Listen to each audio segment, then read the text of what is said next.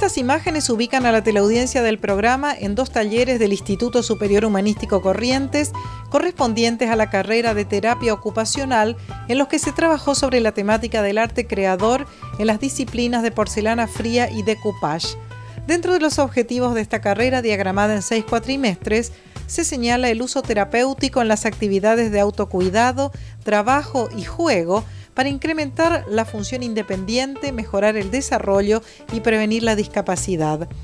La modalidad semipresencial a distancia, con asistencia de dos sábados en el mes, presenta múltiples ventajas al alumno, como ser la obtención de los módulos de aprendizaje por Internet, el acceso a la biblioteca virtual por mail, la realización de los trabajos prácticos en la localidad de origen del estudiante y el cursado de una materia con plataforma virtual total, entre otras.